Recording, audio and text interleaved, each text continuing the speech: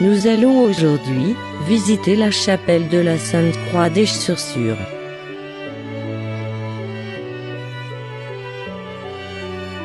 Elle se situe sur une petite hauteur, juste en face du château.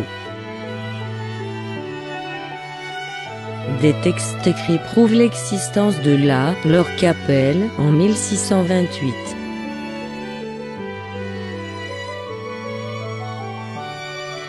En 1767, l'ancienne chapelle, devenue vétuste, a été complètement rénovée.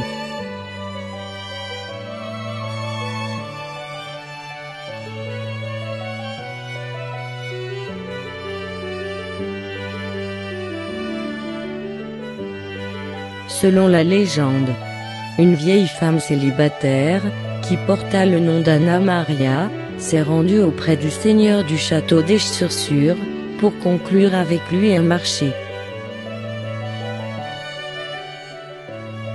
Selon ce marché, tous ses biens, une petite maison, un peu d'argent et deux chèvres, seraient vendus à sa mort, et avec cet argent on bâtirait une chapelle à l'endroit d'Ilor, pour qu'on puisse y venir pour prier et vénérer Sainte Anne.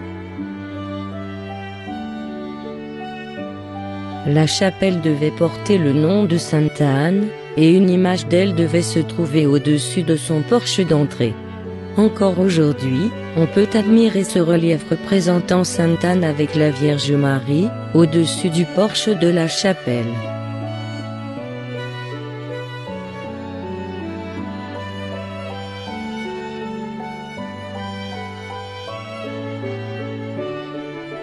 Immédiatement, le Seigneur prit les deux chèvres, et les mit à louer. À la mort de la vieille femme, quelques années plus tard, les chèvres formaient désormais un troupeau de 300 animaux. Elles furent mises aux enchères. Le Seigneur, et les habitants riches d'Esch-sur-Sûre, contribuèrent financièrement à la construction de la chapelle. Depuis 1775, on y conserva une particule de la Sainte Croix.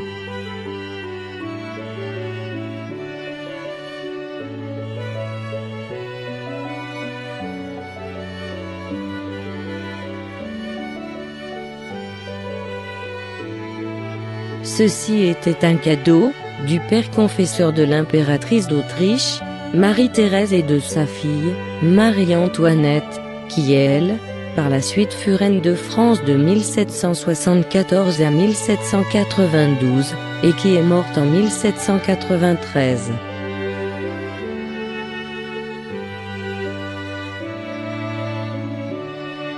C'est pour cette raison, que le 8 mai 1780, on changea le nom du sanctuaire en Chapelle de la Sainte Croix. Cette relique est aujourd'hui vénérée dans l'église paroissiale.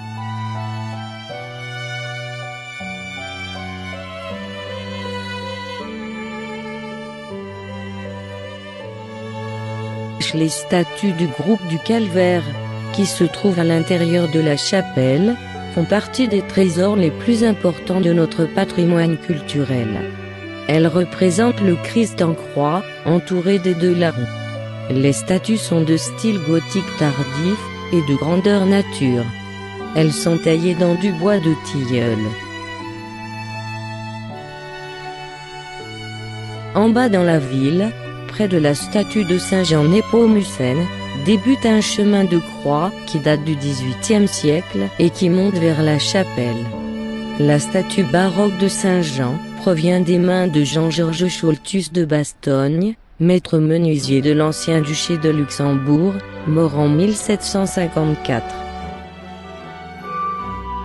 Pour accéder à la chapelle et son cimetière, on emprunte une petite allée de tilleuls. En automne 1782, M. Nicolas Mertens planta quatre tilleuls. L'allée a cependant été plantée plus tard en 1840. Aujourd'hui cette allée est classée monument national, et ce depuis le 8 août 1955.